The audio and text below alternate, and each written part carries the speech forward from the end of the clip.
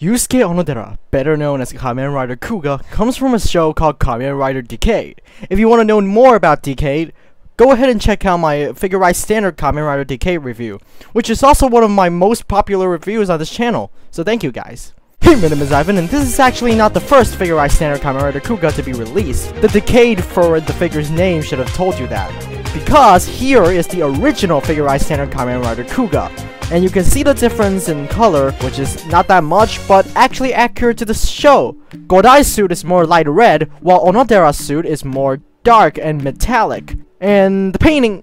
What paint? The color on this figure is definitely the best part of it. The shiny metallic red is absolutely beautiful.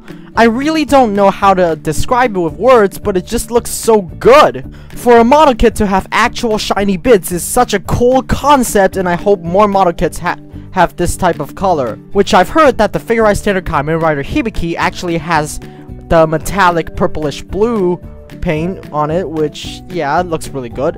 But I don't have any interest in Hibiki, so... Yeah. And of course the sculpt thing is just the same as the original. There's not much difference in that category. Accessories wise, he does have alternate hands. He has fists, open hands, two special hands for the signature pose, and the signature thumbs upping hand.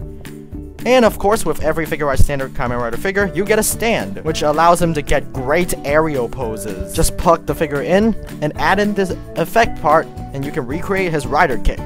Kinda looks weird from this angle, but if you move into a good angle, it looks amazing.